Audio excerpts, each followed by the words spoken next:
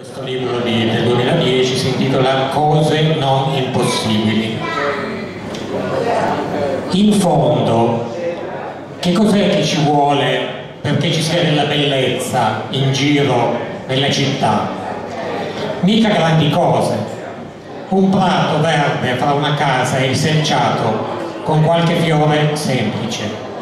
Magari una fontanella, un disegno di piastrelline, le rotaie del tram che luccicano, un albero fra viale e controviale, due ragazze che ballano per gioco, un poco, lì davanti a una scuola, una facciata con vasi ai davanzali intonacata di un colore gentile, una mamma con due bambini per mano, un'insegna non troppo invadente di un bar con un uomo che prende un caffè, una musica da una finestra aperta, una risata di qualcuno che sbuca da un angolo, un banchetto di frutta e verdura, i panni stesi sul filo, le tenaci erbacce nelle crepe del cemento, il cielo azzurro o grigio e un po' di vento che muove le foglie e fa volare un sacchetto di carta di un negozio, qualche scritta simpatica sui muri e altre cose così, non impossibili.